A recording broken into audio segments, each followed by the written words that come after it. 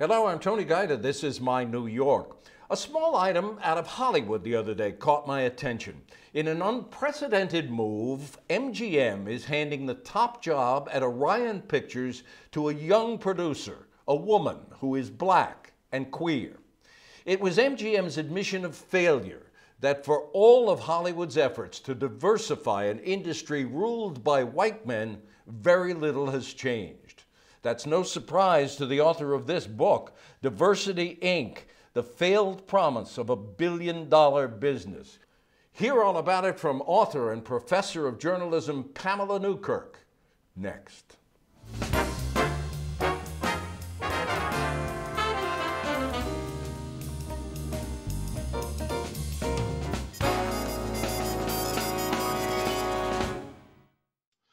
Pamela Newkirk, good to see you again. Welcome back to the program. It's a pleasure to be with you again. Uh, your book, Diversity Inc., I should tell everybody, has just come out in paperback. And just to make sure we understand terms that you're using correctly, when you're talking about diversity, you're not just talking about African Americans, equality for them, but for also Hispanics and Asian Americans, and of course, men and women in there. In that intro, I talk about um, this move by uh, MGM Pictures and Orion and what they've done, which is unprecedented. And I wondered, do you grow weary about hearing about American firsts? After all this time, the first this, the first that, do you get weary hearing about that yes. so late in this game?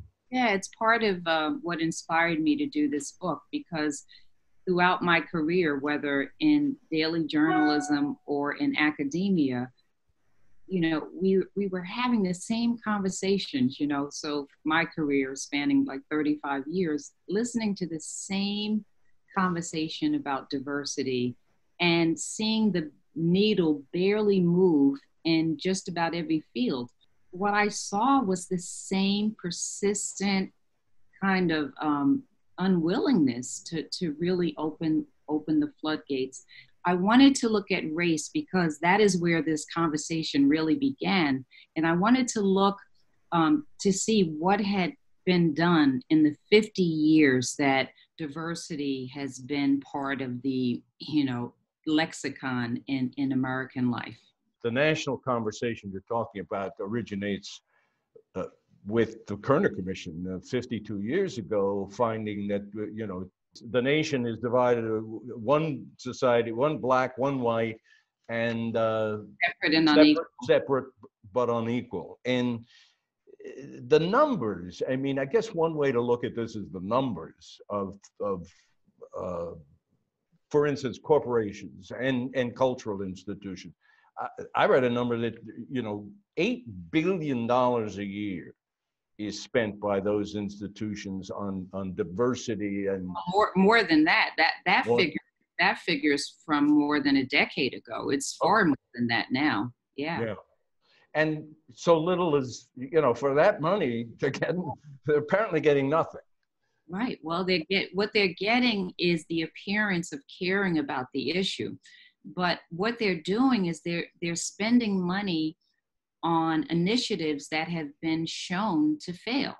so they're doing the same thing year after year and spending billions of dollars doing it, and nothing's changing. So instead of changing strategies, they continue to pour money into failed practices. One of the, the examples I cite in the book is that Google alone has spent more than 100 and 100 million a year on diversity initiatives and year after year they release these diversity reports which show that people of color uh, particularly african americans and latinos are barely represented.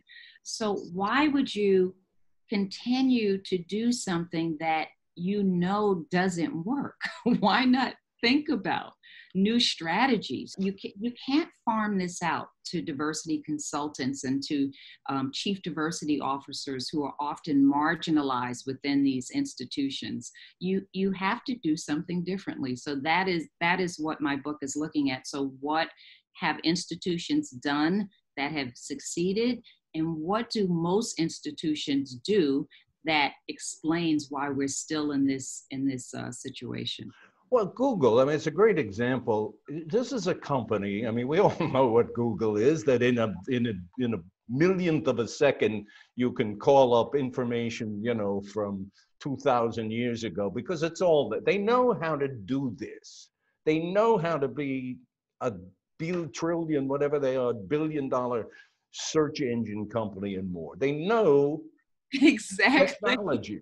Right. So when you say they, you know, farming diversity initiatives out to consultants and stuff like that, I mean, has it ever occurred to Google to use its own intelligence to say, hey, wait a minute, we're pretty smart. We can solve this. Exactly. If they Googled it, they could probably be more successful at tackling this issue than continuing to do what they now do.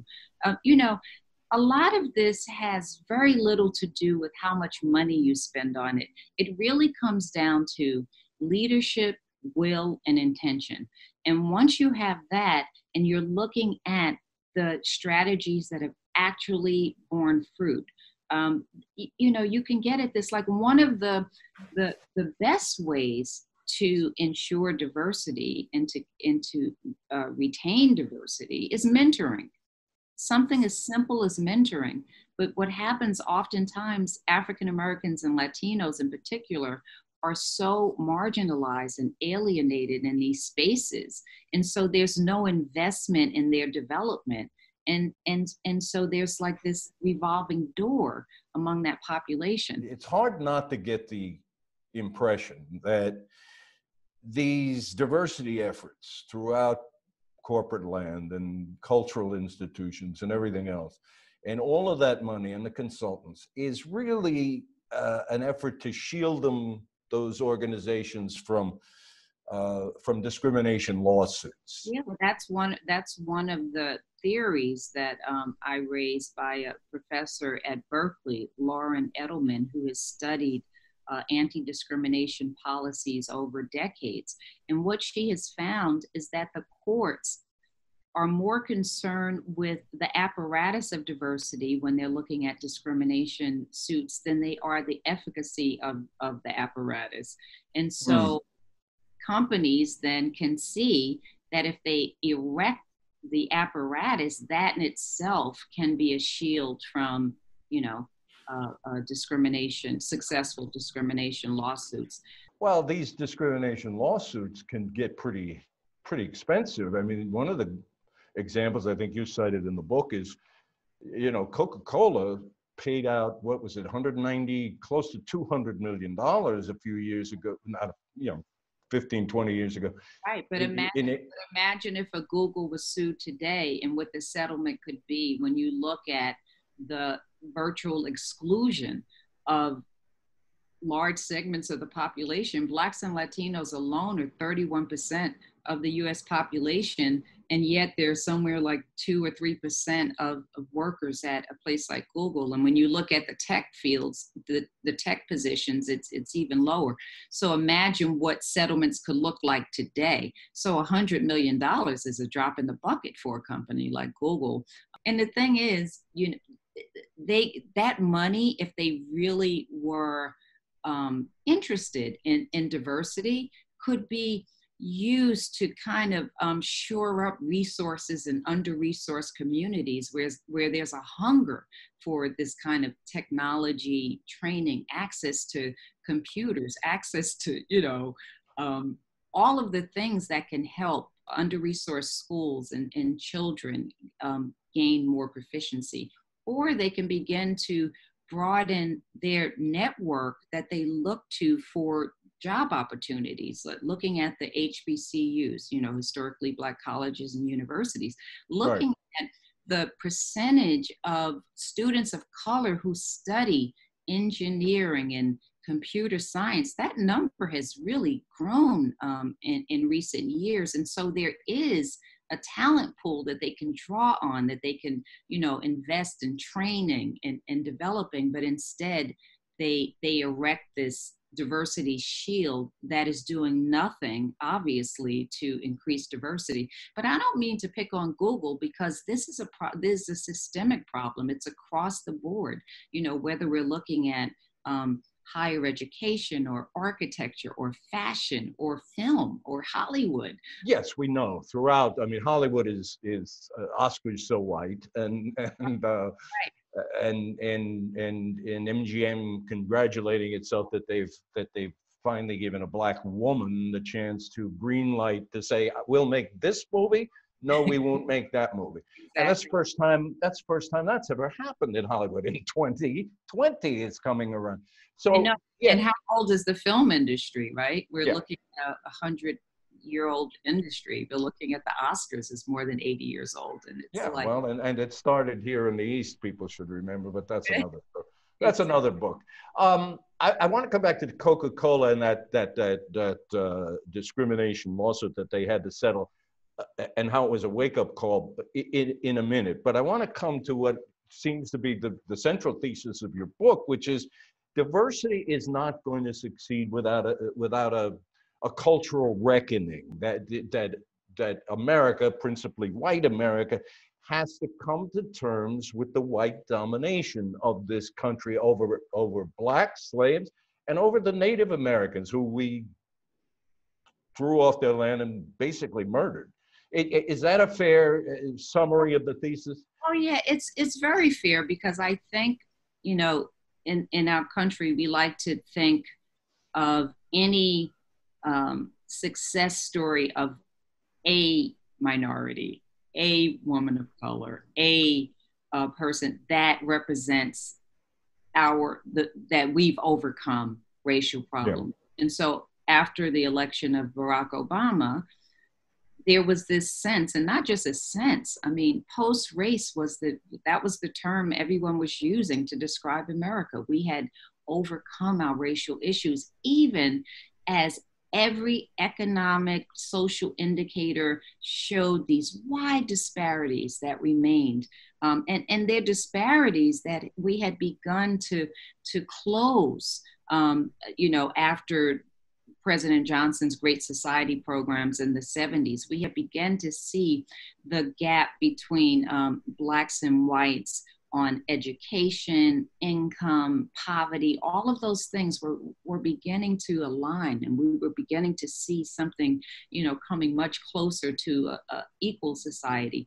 And then there was this virulent backlash to that progress. And we've been living in that backlash since the 70s, since uh, the late 70s with the, the Bakke uh, decision uh, that, that went to the Supreme Court, which prohibits um, institutions from looking at the history and legacy of race uh, to to to make amends and to do to you know have strategies that kind of correct um, those historical issues. And so ever since then, we have been kind of like look trying to find a way to address diversity or address discrimination without using the terms, without looking at his, the historical context, without recognizing the ways in which race continues to operate in this country. Um, you know, I think if there's one silver lining from the tragedies that we continue to see, but that broke through after George Floyd's uh, uh, death. I think there is more of a recognition by more more of white America that we are living in two worlds, um, black, white, separate, and unequal. And you know, it manifests itself, yes, in the criminal justice system, but if you're allowed to treat people the way that George Floyd was treated and the young man um, more recently was treated who was shot seven times in his in his back at close range. If you can yeah. do that with impunity, in what other ways are we um, treating people of color as less than? So I think more and more there's there's a recognition that that we do need some kind of, of reckoning uh, for for the systemic bias that metastasizes in the lack of diversity, in unequal pay, unequal opportunity. Um, and, and, and, you know, if, if you're looking at police brutality, that's just one way of looking at the manifestation. Well, it, it strikes me, you know, on your point, uh, Pamela, it strikes me that if an American were shot seven times in the back in, let's say, the Middle East, there would be an enormous outcry for justice and for uh, retribution and for you know state uh, action that this can an American shot in the back seven times, but we get a black man. He's defined not as American. He's right. defined as a black man. Right. And, and that seems to change the whole uh, uh, consideration. Precisely. And I mean, we there are so many names, so many these episodes it's it it happens so with such regularity that i think most people are kind of you know kind of numb to it. I mean we, we over breakfast cereal we're just watching black people being slaughtered in the street unarmed black people and it happens and oftentimes there there's no retro you know there's nothing you know these officers usually go free. And even if they're released from one police force, they go on to another. And yeah. yeah.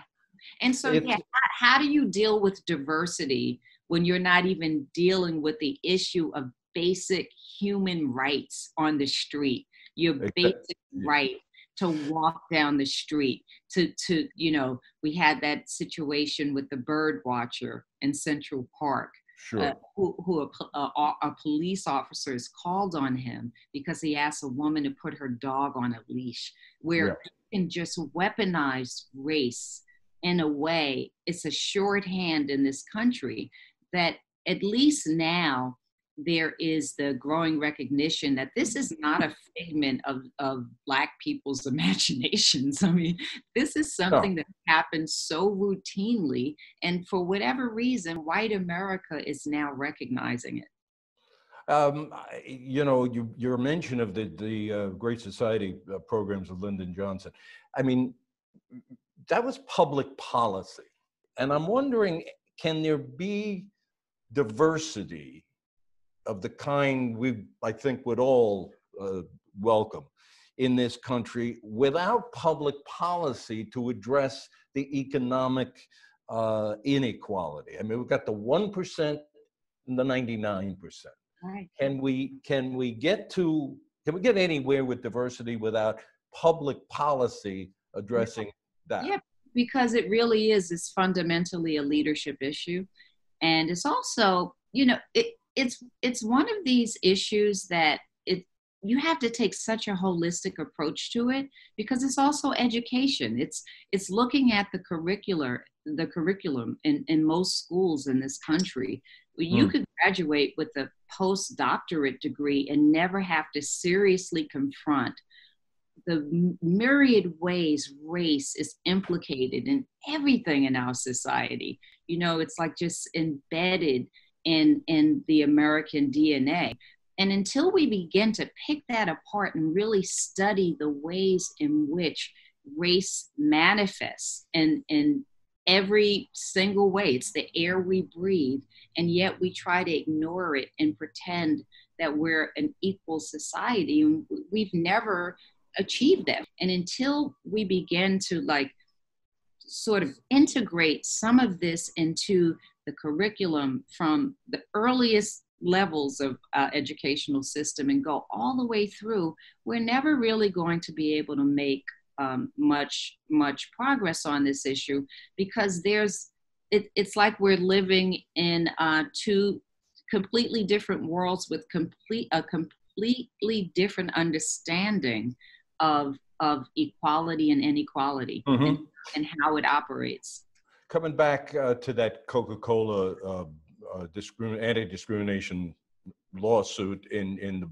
200 million or whatever it was they had to pay turned out to be a wake-up call and they're one of the success stories that you cite yeah. in the book about turning things around because they did it from the top. Yes. have, they're a success story not only because they paid out the settlement it's because they had the right leadership that actually took the task seriously they also, as part of the settlement, they um, had a task force um, that oversaw uh, what the measures that they would take. Over five years, they looked at every single thing that they, that uh, they oversaw every the whole operation. For instance, um, they would report on any openings and what the candidate pool looked like and what the uh, they, they would look at evaluations. The, the chief diversity officer there developed a system that he looked at employees across the company and looked at um, salaries, promotions, bonuses, everything across racial and gender lines. And so they w- were able to, to detect patterns of bias that would mm-hmm. metastasize in unequal pay and unequal promotions, unequal opportunities, unequal um, candidate pools. Who, who was in the room? Who, who even had an opportunity to apply for a job? So before you could even make an offer to a candidate, they would evaluate whether equality, you know, was was um, part of the decision. And so over five years, they were able to make significant strides on diversity, on opportunity, and um, sal- you know to bring salaries in line across racial lines. Because part of the lawsuit, uh, what they found is that even when African Americans held the same titles as their white peers, they were still paid less, and yeah. so they just yeah. I have, but I have a I have a couple of questions about that success. I'm not I'm not questioning the success, but Coca-Cola um, is a company like so many others in this country, maybe every other company, in which the CEO makes probably a thousand times the pay of, of, an average worker. Yeah. So you've got in, you've got economic inequality. You got one percent, ninety nine percent in Coca Cola and every other, mostly every other company. Right. And you've got Coca Cola coming out publicly couple of years ago in support of the Trump tax cuts. So a company that that uh, that appears to value diversity and equality as much as they do and have succeeded, yet on the other hand seems to be an avatar of inequality. Yeah, you know, there's no panacea in this, right? That we can only we could do better than we're doing. I don't know if there's anything that we can do that's going to, as long as we have a capitalist system, the Coca Colas of the world are going to reign supreme. And we're just looking for some equality within these these unequal structures, right? Um, but but what what it what that case study showed and why I thought it was important to to examine it is mm-hmm. to look at what a company can do to systemically dismantle um, structural inequality in the workplace. And they created a system that I think can be applied to any institution that that really wants to do something about this. Just a, a, further expansion, I think, on your your central theme is your um, citing or at least referring referencing what you what I think you term what the mythology of race right. that too many people in this country look at a, a racial situation, a, a, black person or a, Hispanic person, as not being worthy of right. diversity, of, of, of, of opportunity. Because we live with this mythology, but the mythology comes out of the way race has been taught in this country. I mean, you know, a hundred years ago when you know, a young African was exhibited in the Bronx Zoo Monkey House, for which they just apologized. Um, your, uh, by the way, your book was extraordinary about Ota Benga and that thank you. horrific yeah, incident. Yeah, we talked about it five years ago, and I remember yeah. you were one of the journalists who tried to get the Bronx Zoo to answer for what had happened, and they refused. So for five more years, they stonewalled, and then you know took them 114 years to say we're sorry. to say that what we did was wrong because for more than 100 years they engaged in a cover up. They kind of lied about what happened or they allowed lies to flourish about what happened. But anyway, the reason why that incident was able to happen is because the most elite men of science at that time were saying that Africans were between a, a baboon and a, and a human, that they weren't fully human anyway. That is how that happened. That is how it became this global mm-hmm. sensation. Mm-hmm. And, and that that ideology continues to flourish, even if it's not spoken anymore. It's so deeply embedded in the American psyche because it's it's been taught for so long, and it's also embedded in film and in iconography. And it's like the, there's this shorthand that is used to kind of endorse that belief that white hat, white hat, black hat, white hat good, black hat bad. Right, and it, it's you don't even have to use the words anymore. So you could just use a shorthand and symbols, and so um, that's why I, I think, you know, in this book, I wanted to show that yes, you can have all of these strategies to improve diversity. You can have this multi billion dollar apparatus around diversity, but until you truly look at structural inequality in the myriad ways that we are telling we are saying that African Americans, Latinos, Native Americans are less than, how do you then uh, have workplaces that are equal if people don't believe that their their their colleagues of color deserve to be there? Pamela newkirk it's great to see you again. The subject is so fraught. Um, diversity inc. It, it's out now in paperback and people ought to get it. It's good to see you pamela. Stay Thank well. you, tony. It's a pleasure. And